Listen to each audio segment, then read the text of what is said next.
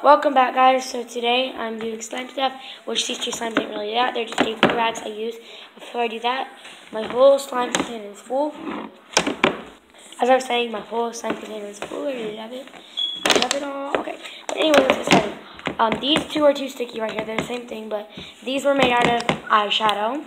This one is like a bluish color, it was made out of crazy art markers, and it has black sparkles in it, black and gray sparkles. This one's made out of Crazy Art Crayolas, and it has black sparkles in it, black and gray sparkles in it. This one, Crazy Art Crayolas, and it's like try to get no sparkles in it, but this one I have to show you something. Turn my light on, pull it across, neon blue. Love Okay. okay guys, moving on. Um, this one, too sticky. This one is made out of Crazy Art.